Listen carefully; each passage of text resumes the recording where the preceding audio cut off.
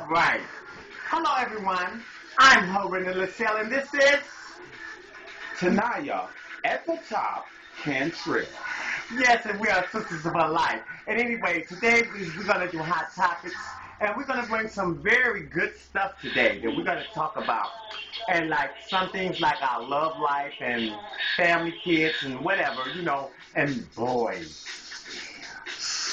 First of all, how do you think the boys are in Detroit? Oh, I think the boys are just hot. And it's getting ready to get hotter. Mm, yes, summer is coming on and everything. But listen, now the main hot topic for today is Whitney Houston. Yes. What do you think about Whitney Houston? Well, first and foremost, I love Whitney. I give all my honor and praises to her. Uh, but on the other hand, she needs to stay in rehab.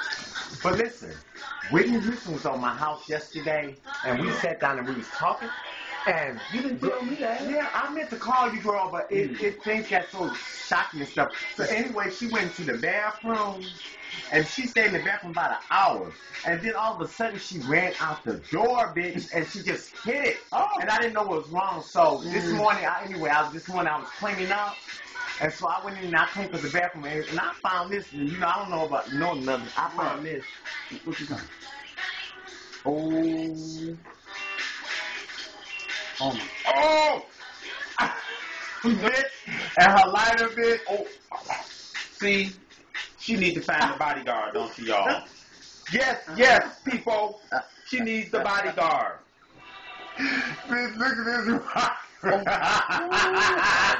Bitch, and I'm still waiting, bitch. Help Whitney. We gonna, we gonna get something going for for Whitney that says help her. She needs help, and Obama can't help her. okay, bitch. But anyway, with a lighter like this, bitch, you can stand in a tornado, bitch. Okay. Or what they call that a, a tsunami. well, anyway, this is what she left in my bathroom, bitch, and I don't know what it is. So anyway, I'm going to cover that up and put it back under here. Okay. Okay, boys. okay, get back to boys. I take you head up that rock. Woo!